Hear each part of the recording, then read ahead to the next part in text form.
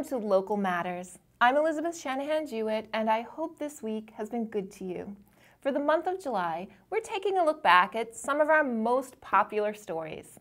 On This Is Who We Are, we featured Kendra D'Angora, a local artist and educator who has combined her greatest passions into her vocation, teaching younger generations the power of creative expression. Here is her story.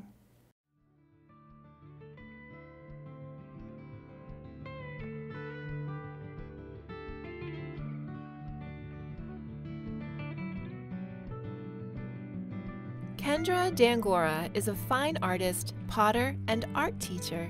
We visited with Kendra in her native Plymouth, Mass. to learn about why art and teaching art is her life's work.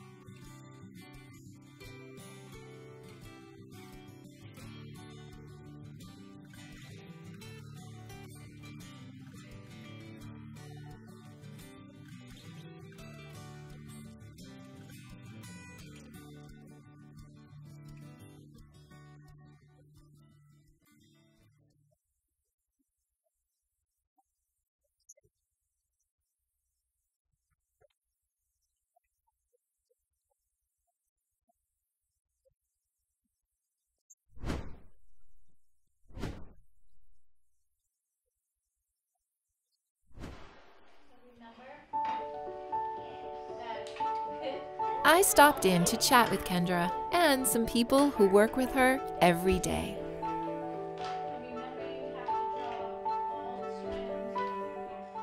So, Kendra, where do you get inspiration for your lesson plans? Um, I gain a lot of inspiration through Pinterest, um, through books, through the children and what they're interested in. Children inspire you? Yes. If they have a desire to learn how to draw animals or people, we go through a unit of that. What kind of art do you like to do um, when you're home? Does anything that you learn in this class um, inspire you to do art at home? I like to draw animals. My favorite animal is a fox. I a like fox? I like how they have the colors they have. I like to get them away from the commercial images of holidays. Yeah. So we did a unit on masks this Halloween and we talked about where masks originate from and how they're used in different cultures. And then they were inspired to make their own masks based on their own interests. So, so these masks are all done by the students that are present in class? Yes. Um, this pile here is fourth grade. I have it. I have it in um, in order. In order. in order. Yeah. So the fourth grade masks are here. At the what would here. you say is different about teaching a kindergartner as opposed to a fourth grader? Hmm. you all know the answer to that one. As they get older, they get more tense about what they're drawing. And in kindergarten, they have no inhibitions whatsoever. More self-critical. Yes, they become more self-critical. Middle school is even harder because they just don't feel like they do it perfectly enough. Mm-hmm. Whereas there's certain freedom with preschool through second grade where they just do it. So what do you do as a teacher to let those inhibitions go? I make them scribble. Right, guys? Yeah. You make us scribble. Scribble all the time to loosen up their hands. As you see on the chalkboard over there, we scribble until we get the proportions right. Scribble cones and circles, right? Yeah. Yeah.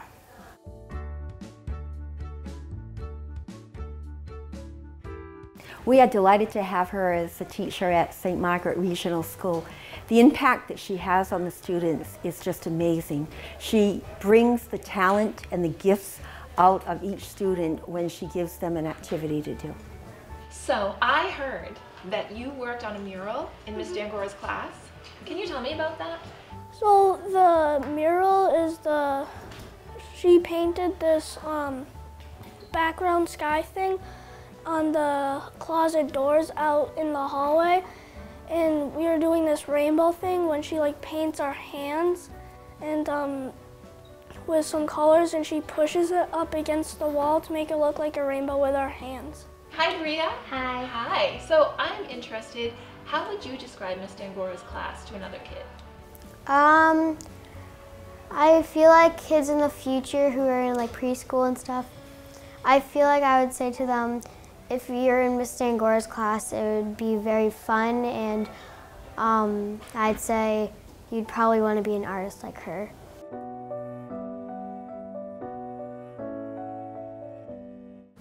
It's important to have art in the curriculum in the school because it gives the opportunity for the students to share their creativity and to display their talents in various ways in the arts. And it also gives the school an opportunity to display their artwork, and it is an invaluable asset to the school.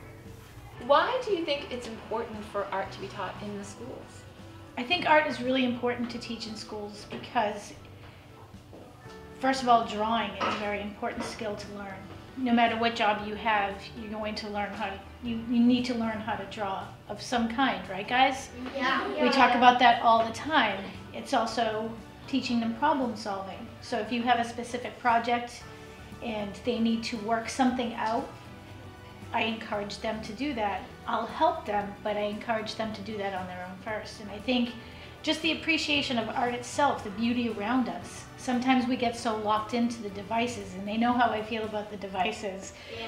But I feel that imagination and awareness and observation is a really important thing to have in your life because if you miss out on all the wonderful things that are happening around you, then one day you're just going to be old and wonder where all that went. How about anything else you want to say that is important for you? That I feel very lucky that I am a teacher of all these children.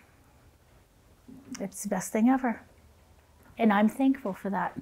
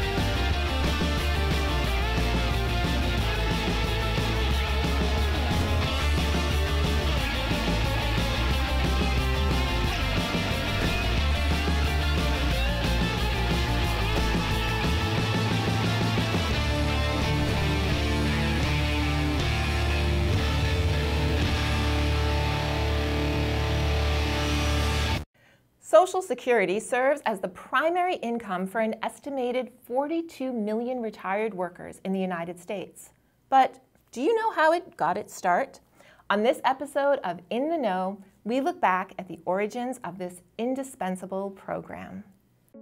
Social Security serves as the primary income for an estimated 42 million retired workers in the United States. But do you know how it got its start? The stock market crash of 1929 triggered the Great Depression, the worst economic downturn in the history of the industrialized world. All populations were dramatically affected, particularly the elderly. By 1935, 50% of seniors in America suffered extreme poverty. Newly elected President Franklin D. Roosevelt was looking for a solution and was inspired by Europe's welfare system. He proposed a program in which workers secured their own future economic security by contributing a portion of their income through payroll tax deductions. This means that each working generation funds current retirees' monthly income and are in turn likewise funded in their senior years. This concept was expanded to also include unemployed and disadvantaged Americans, and the Social Security Act was signed into law in 1935. The first person to receive monthly Social Security benefits was one Ida Mae Fuller of Ludlow, Vermont, a legal secretary who retired in 1939 and collected her first check in 1940 at the age of 65. This very first check was for $22.54, $414 in today's prices. Fun fact Ida lived to be 100 years old. Fast forward to modern times. If you were born after 1929, you need to work at least 10 years to become eligible for Social Security. A person making $40,000 a year will pay 6.2% of their wages, or $2,500 yearly in Social Security taxes. That number is matched by your employer. The size of your Social Security check upon retirement will be based on your income from your working years, the year you were born, and your age when you start to take benefits. Most people start at the age of 62. For more information on how much you'll receive and for other important information, visit the Social Security Administration's website at ssa.gov. Social Security. Now you're in the know.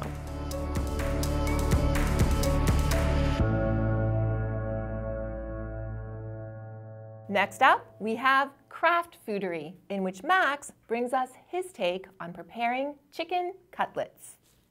What's going on guys? Today we're going to be making homemade chicken tenders which is a better option than going to some fast food restaurant. On top of that we're going to be making a sriracha dip so stick around and let's get started. Step 1. Cut and season the chicken.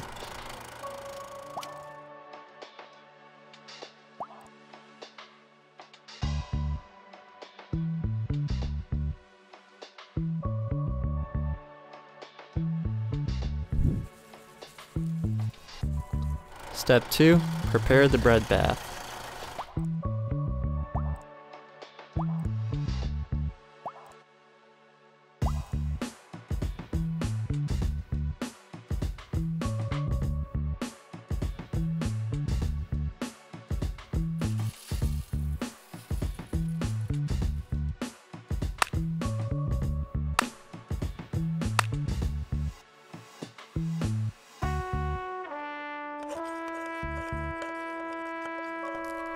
I'd like to stop the video right here and direct your attention to my amazing pepper grinding skills. Aren't they the best you've ever seen?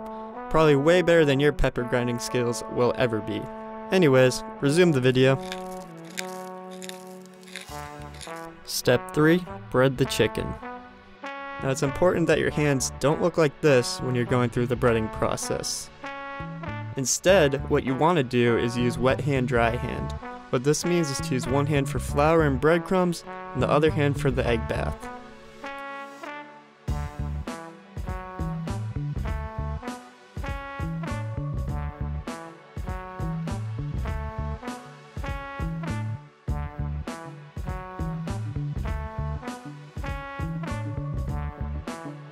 Step 4. Cook the chicken.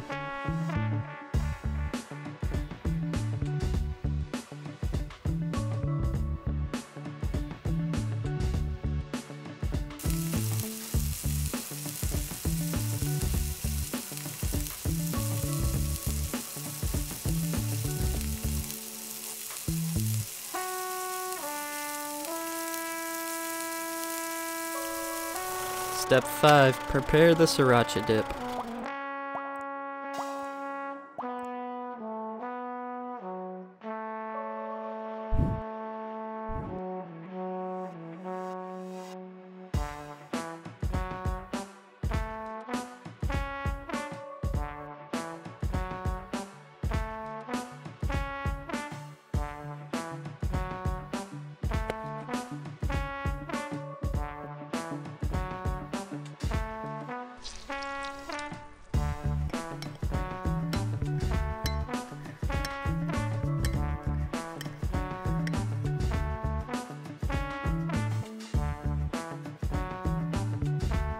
Step 6 is to eat. What else would you do? Now, I like my tenders extra crisp, so I cook them longer. But if you want them to be golden, pull them earlier. The cooking times vary from 3.5 to 5 minutes. And that's how you make homemade chicken tenders. And this can be a healthier option than eating out all the time. Not that there's anything wrong with eating out, but when you have the opportunity to cook at home, give it a shot for yourself. Thanks, Max. And in this episode of Apps Untapped, Tiff and Erica review PocketGuard, an app that can help you keep your spending under control and your budget on track. Hi there, Tiff here again to bring you another episode of Apps Untapped. Now, lately I've realized my spending habits have gotten a little bit out of control. I really thought that I was going to save money during the pandemic, you know, not going out, no going to eat, no getting my nails done. But me, being me, has found other ways to deplete my bank account.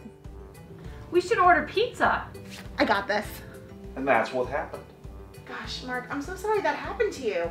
Here, have some money. Who ordered all these shoes? They're mine! So today we're going to talk about budgeting apps. Specifically, a little app called PocketGuard. All right, disclaimer time. I'm clearly not a financial advisor. I'm just a girl standing in front of her bank account asking herself why she spent so much on Amazon last month. You may have never heard of it, but PocketGuard is an app that syncs with your bank account and categorizes your transactions based on the merchants you purchase goods from, or the institutions that you're paying bills to. I looked at a lot of finance apps and many cost money. And since we like free around these parts, I chose this app because you can get the most features without having to switch to an upgraded account. When you first set up the app, you will connect it to your various financial accounts. Checkings, savings, credit cards, etc. That gives the app a sense of what you're worth financially because you know what you're worth. Specifically, it determines how much debt you have and your spending habits. To set up, you'll put in your email address, pick a password, and choose a four-digit passcode. Just FYI, the app will prompt you to put in your code every time you leave the app, even just to send a quick text. After you're in, you'll need to connect to your bank account. But by the way, that, it takes a little bit of time.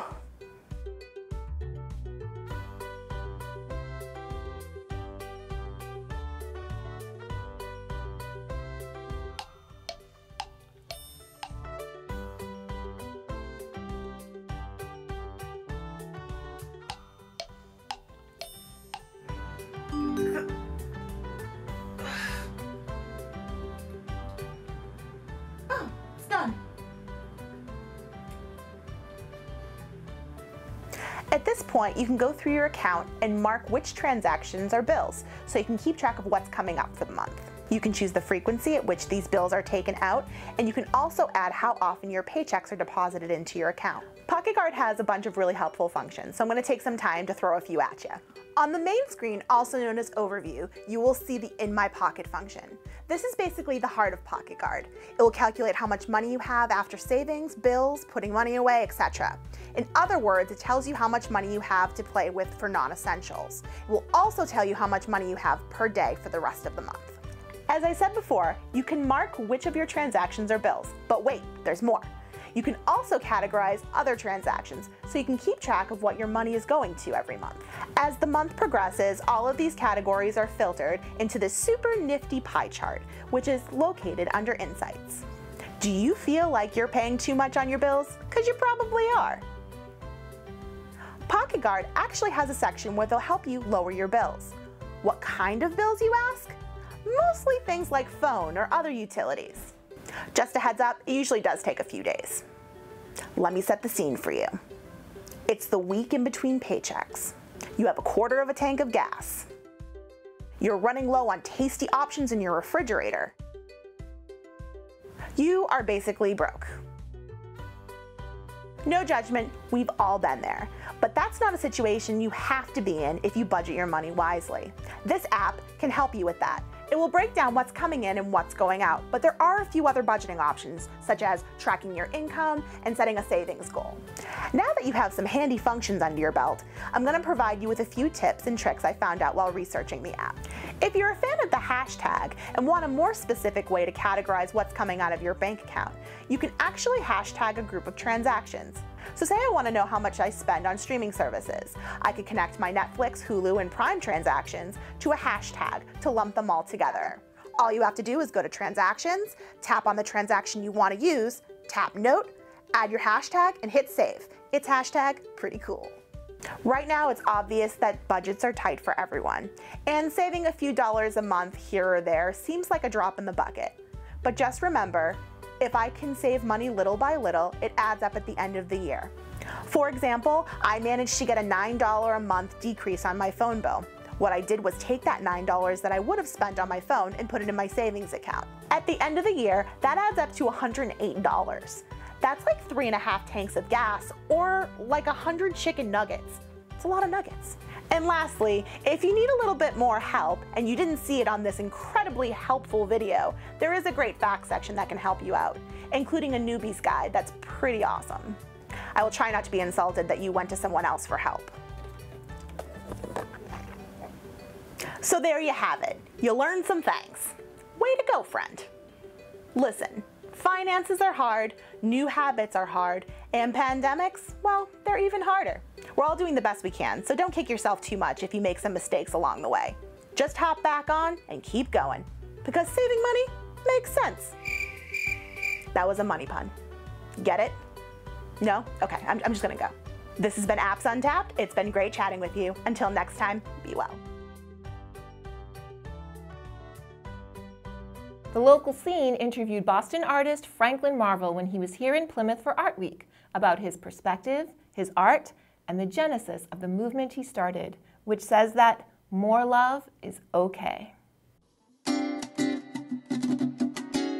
Franklin Marval is a local artist, graphic designer, and social activist.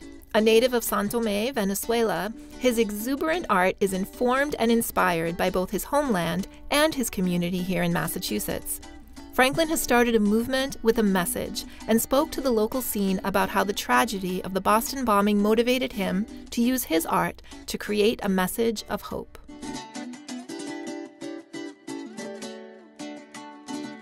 The More life is Okay movement it sounds like something. so, I mean, like, everything started a few years ago.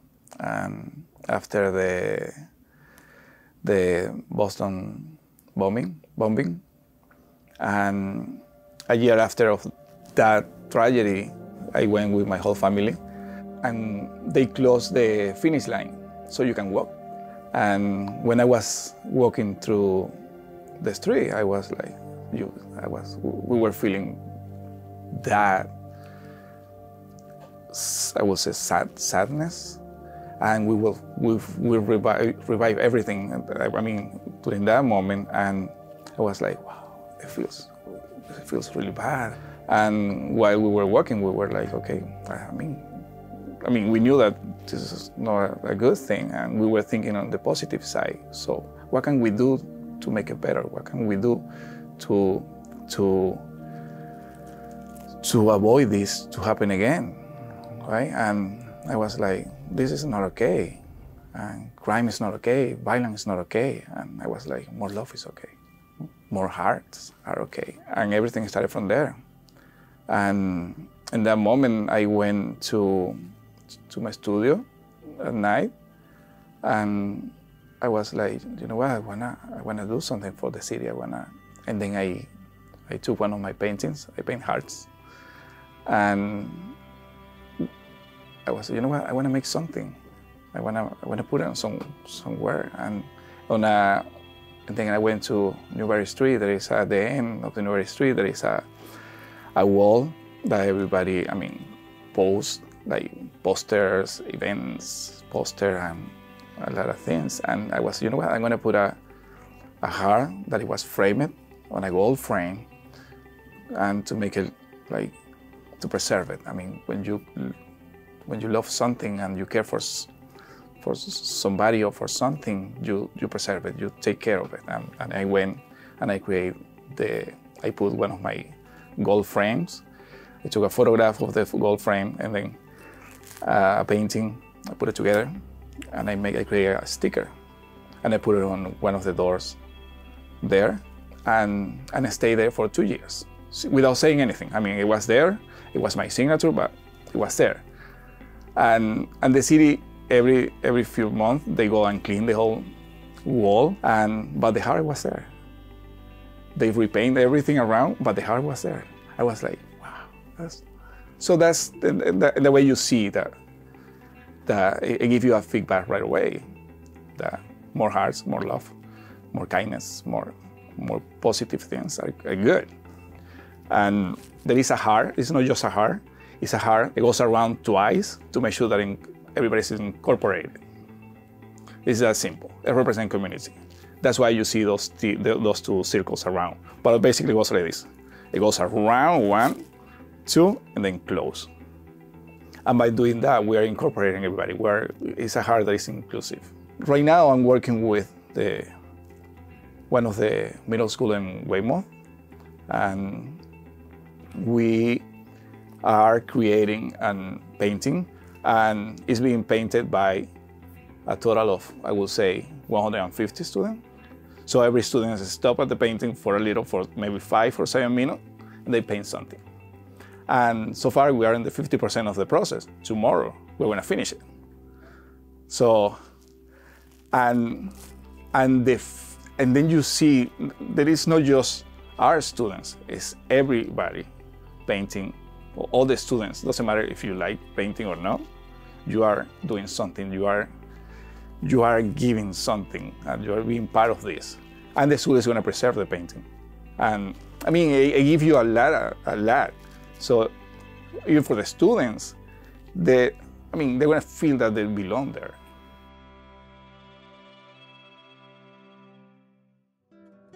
Franklin's commitment to using art to build community and raise social consciousness travels across continents, from collaborative projects in Massachusetts to his native Venezuela, a country which has endured great suffering. What was first is the question.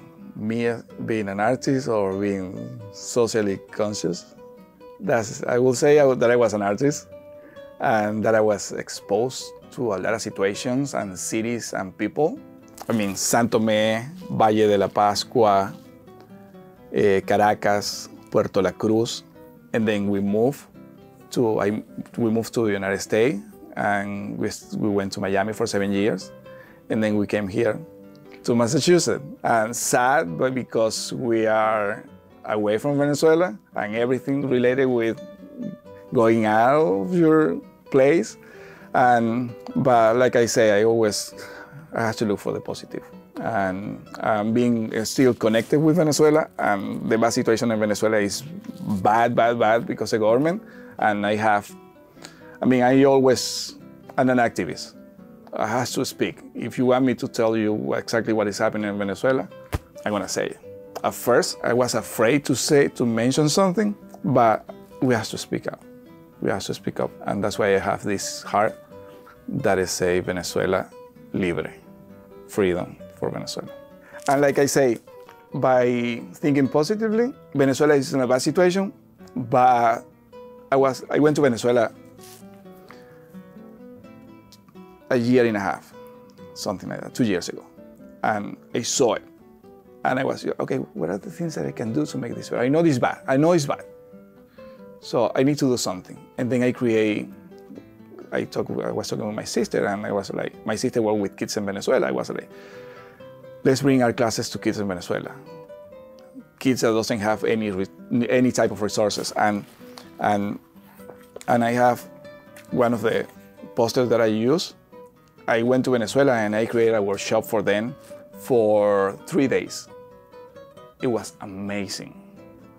So as soon as we finished the workshop, we were like, okay, how can we make this to, to continue? And, and it was hard to get the money to do that. And, but we did it, we broke classes for six, almost six, seven months. our classes for 50 kids. Unbelievable. They were going to bed on Friday night, dreaming about Saturday morning and Saturday afternoon for the classes. They were like amazing. So I'm working on it to bring it this year too. At the root of Franklin's artistic expression is always the heart, his own, the one he puts on canvas, or the heartfelt spirit animating his subject. When I see an instrument, there is a heart. I see a heart in there. And, that, and the heart is the people playing the instrument and the people that made the instrument. The heart has four, it's gonna be hard to pronounce this, ventricles, ventricles. And, and I have a sketch of a heart with, where I play with the four parts. I use the fingers because the cuatro, it means that we have four strings. We as an artist, we try things. And because I'm, I'm being experimenting the music in my head now, I was like motivated to try something, trying to paint life while somebody's playing. There is something around that that is beautiful and only you can find that when you perform live. And, and I like it. If there is anybody out there that wants to be to paint live, just reach out. And if there is a stage, we'll do it. Franklin says the goal of More Love is Okay is for people to read a simple positive message with the hope of creating a more loving future. To contact Franklin or learn more about where to see his work, visit franklinmarval.com.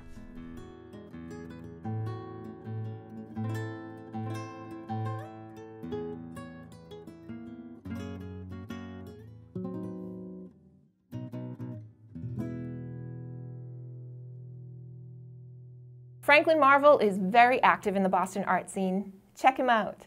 And next, what is it like to be a cranberry grower in southeastern Massachusetts?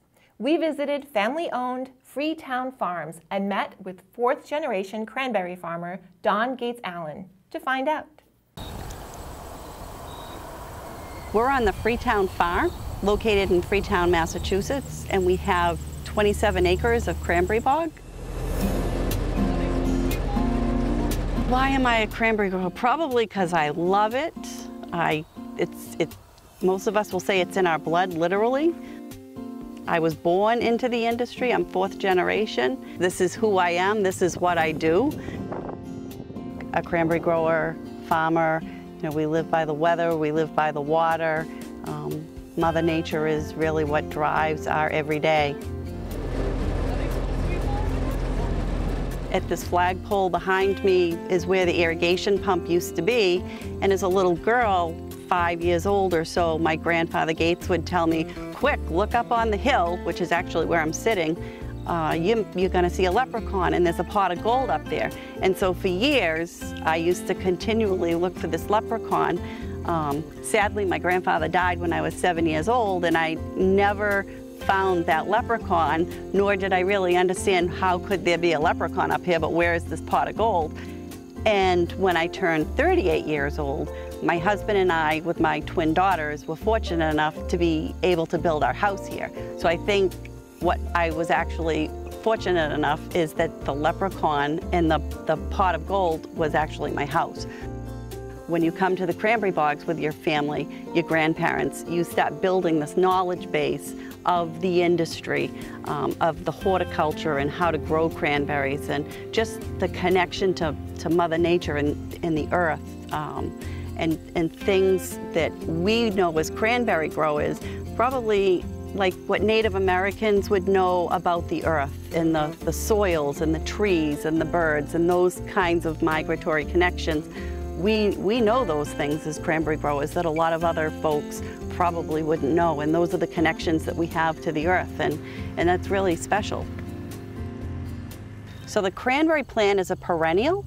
And so we as a cranberry grower have to take care of that plant 365 days a year. So it's critical every single day of the year that we take care of our cranberry plant. So wet harvest, you would do a pre-flow of the bog just at the, at the vine level. and then you would come out with your harvesting equipment and then you would knock the berries off. The berries float. The berry floats because it's hollow inside. Once the bog is picked, and then the grower corrals the berries. And then that's when they would be loaded on to the truck and shipped off to market.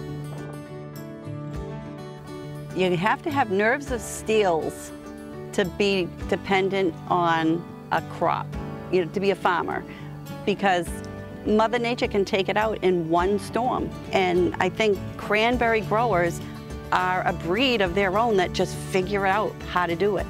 Um, and we have been figuring out how to do it for generations.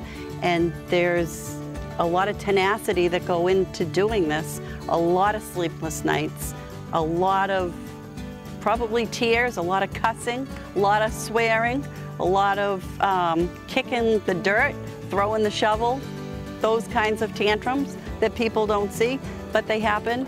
Um, and you see a lot of gray hair for sure. So we're eternal optimists is probably the best way to think about a cranberry grower. Farming cranberries is definitely an everyday job. I guess I just I just love doing it. It's it's it's an addiction. We love to grow the fruit. It's it's there's always next year is our thought. Um, if the crop doesn't produce quite the way we think it's going to be, um, we always say there's next year. Uh, we, we live for next year. Um, it's, the, it's the perpetualness of being a farmer. I will never quit being a cranberry grower, ever. Thank you for staying with us for this episode of Local Matters. From all of us at PAC TV, have a happy and safe week. We will see you next time.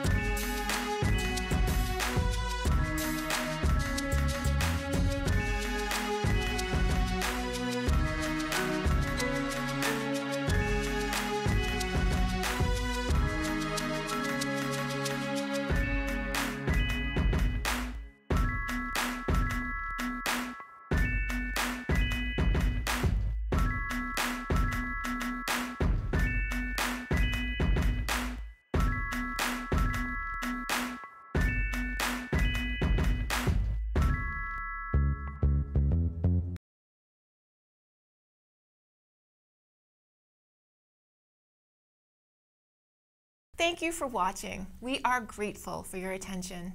If you like what you saw, please like and subscribe to the Local Seen here and share everywhere.